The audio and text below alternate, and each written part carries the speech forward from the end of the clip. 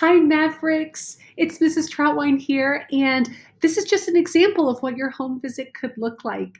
Right now, I am sitting in my learning and teaching space, and I just wanted to share a couple of things um, with you right now.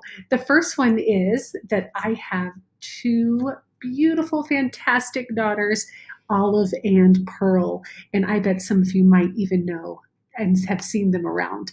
Right now, I would show them you in person, but right now they're on a camping trip. they're having lots of fun. And the other thing I wanted to share with you was my absolute favorite picture book. And my favorite picture book is called Tops and Bottoms, and it's by Janet Stevens. And I like this book for a couple of reasons. I think it has a really good message. And did you know that Janet Stevens, who wrote this book, is actually from Boulder. And so I thought that was a really cool thing. Um, and it's just one of my favorite books to read, um, The Girls at Night. So we cannot wait to visit your home virtually, um, and you can show off a couple of things that you would like us to know about you.